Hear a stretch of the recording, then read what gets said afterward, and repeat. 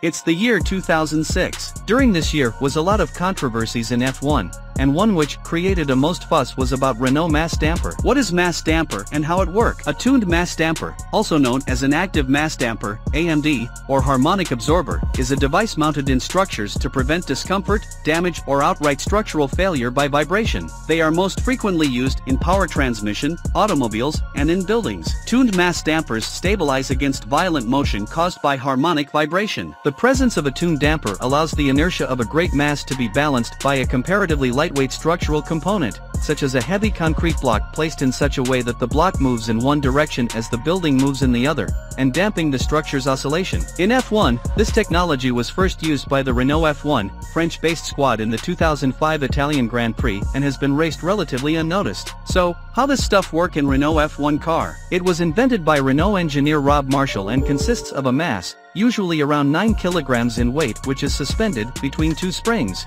It sits inside the nose of the car, out of plain sight. Inside the cylinder was a disc sandwiched between two coil springs and the unit was filled with damper oil. The car body, body might be kept reasonably stable but the downforce it produces has to act through the four tire contact patches. Always changing ride high because of road irregularities, dive and squat, is causing always changing level of downforce, and because of that, level of grip. This will make the car harder to drive and slightly slower than it would otherwise be. The mass damper is a device designed to even out those fluctuations and to stabilize ride high and downforce. This will maintain front-end ride high and level of grip, by pulling the nose down every time it passes over a curb or a bump in a corner. Because of that, Renault R26 uses the tire contact patch much better and it also benefits on the aero side as the front end of the car is less pitching and more stable. Unfortunately, over the winter break a few engineers left Renault and took the technology to other teams. Rob Marshall, then inventor, for example went to Red Bull where the system was applied to the RB2. After the French Grand Prix 2006, the sport's governing body decided it was illegal and ordered all teams which used it to remove it from their cars. It was McLaren who started to point the finger in the direction of this problem as they had tried such a system in two tests but could not make it work properly. In 2006 Ferrari, Red Bull, Toro Rosso and Midland MF1 all followed the same path